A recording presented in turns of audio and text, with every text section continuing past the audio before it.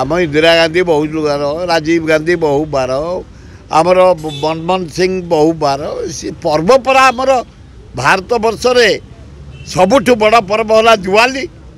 ତିନି ଦିନ ଆମେ ପାଳନ କରୁ। ଆମେ ପ୍ରଥମେ ଆଗ ଦେବାଦେବୀକି ଏକାଠି କରୁ।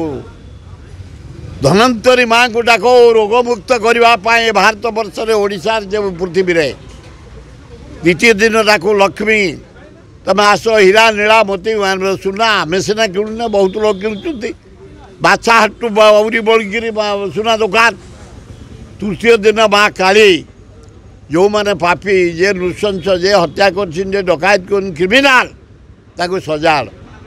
ଏବଂ ଆମେ ଡାକୁ ଆମ ପିତୃପୁରୁଷଙ୍କୁ ହୁଳା ଦେଖେଇ କାଉରିଆ ଜାଳି ଆସ ବଡ଼ ବଢ଼ିଆ ପୂଜା ଖାଅ ଏବଂ ଅନ୍ଧାରରେ ଯାଇ ଆମକୁ ଆଶୀର୍ବାଦ ଦିଅ। ଆଲୋକ ଚାରିଆଡ଼େ ଲଗାଉ ବାଣ ଚାରିଆଡ଼େ କରୁ ବା ସୁଖାଦ୍ୟ ଖାଉ ଭାତୃଭାବ ସୃଷ୍ଟି କରୁ ହାପି ଦିୱାଲି ବନ୍ଧୁ ମିଳନ କରୁ ଏ ହେଉଛି ଆମ ପରମ୍ପରା ହଜାର ହଜାର ବର୍ଷ ତଳୁ ତେଣୁ କାଲି ହେଇଛି